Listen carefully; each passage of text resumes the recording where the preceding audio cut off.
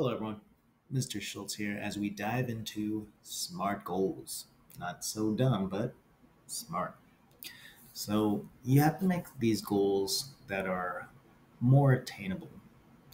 And so, you have to set goals that you will be successful at. Let's go over some examples. For example, you have to be specific. That's the S in SMART. Be clear about what you want to happen. I want this to happen. It has to be measurable. You should be able to track your goals. It should be action packed.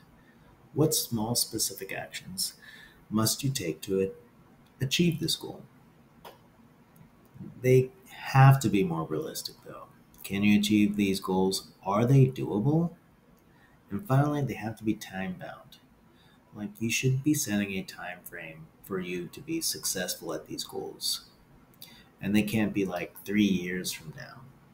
If you're setting a goal of three years from now, that, that's fine, but you should be setting goals in between to get you to that eventual goal of example, graduating.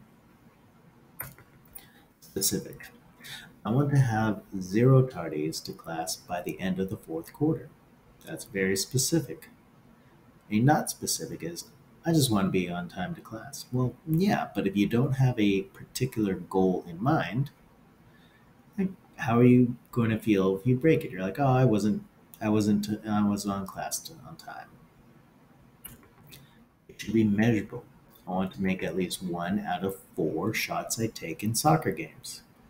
Well, did you shoot four times and did you make one of them? Or more? If you did, well, congratulations, you have a measure. If you don't, if you go above or below, you know, did you hit this measure? A not measurable goal would be I want to make a lot of soccer goals in my games. Well, what is a lot? When would you be successful in this goal? When will this goal be complete? Action packed. The right way is to make a 93% average in science by the end of fourth quarter. I will review my notes every night for 15 minutes. The wrong way is just to say, in order to make a 93% average in science, I must study. Well, that's a no brainer. Well, how are you going to study? What actions are you going to do to make you be successful at meeting this goal? It's your choice. How specific are you going to be? Realistic. I want to make 8 out of 10 of the free throw shots that I attempt. 80%? That seems doable if you practice. By the end of, but now, when is this goal due? Are you going to say, hey, in a week? Probably not. In more than a week? Yeah, maybe. Like maybe three weeks? Maybe if you're practicing every day. Unrealistic. I want to make 200 free throw shots in one game.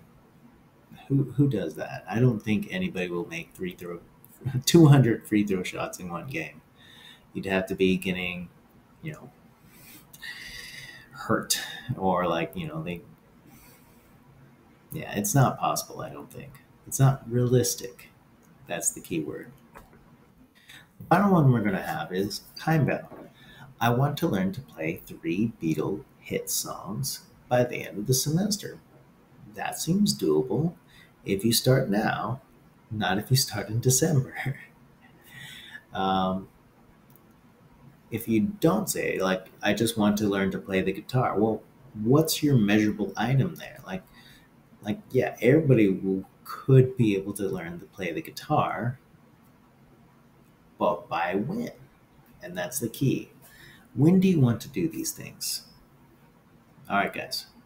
Now we're going to go into your SMART assignment. Good luck. That assignment looks like the following. This is our SMART beginning of the semester goal setting right here. You just to remind you, here's here's the SMART goals mini lesson. It's specific, measurable, achievable, relevant, and time bound.